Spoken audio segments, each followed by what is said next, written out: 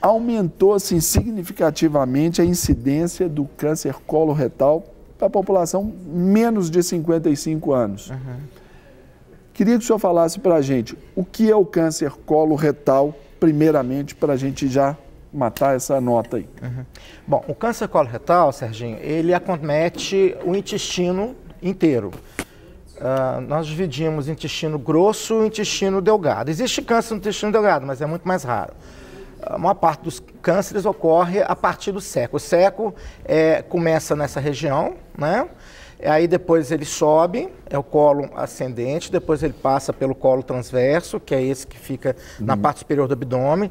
Depois ele desce né, é, já para o sigmoide e ele então ah, termina numa, numa, numa ampola praticamente chamada reto. Uhum. E o reto então dá vazão às fezes já totalmente formadas para o ânus e a partir daí então a eliminação ah, fecal ah, do ser humano.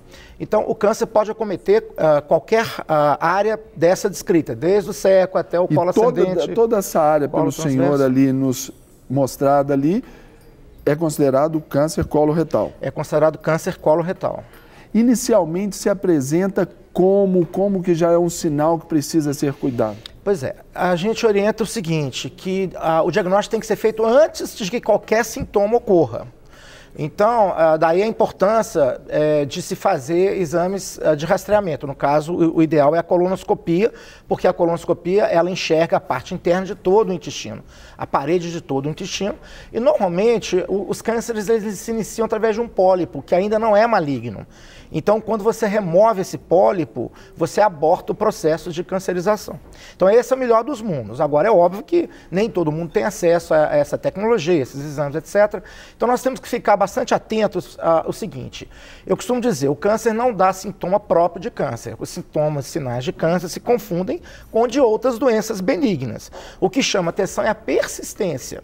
Então, por exemplo, é, uma pessoa que evacua diariamente uh, durante anos uh, tranquilamente. De repente, subitamente, ela passa a evacuar a cada dois ou a cada três dias. Alguma coisa está errada. Aí por um espaçamento maior. Né? Maior. E o que, que ela faz? Ao invés dela procurar um médico, ela vai no balcão da farmácia e compra um, um laxante. laxante. Esse é o grande problema. Segundo exemplo, a pessoa está bem, sempre foi uma pessoa muito corada, de repente ela começa a ficar anêmica.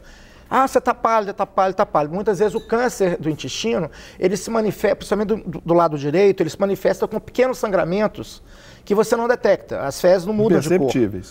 É, imperceptíveis. Aí a pessoa fica, ah, você está muito pálida, etc. A pessoa vai no balcão da farmácia e compra sulfato ferroso e começa a tomar o sulfato ferroso. E, e resolve o problema. A, anemia desaparece. Mas o câncer está tá progredindo. Está só se desenvolvendo. Então, uma das formas, é, é, inclusive existem exames, quando você não tem condição de fazer uma colonoscopia, recomendamos a pesquisa de sangue oculto fecal. E se essa pesquisa vem positiva, deve-se fazer, complementar com a colonoscopia. Essa é uma outra forma de você rastrear o câncer.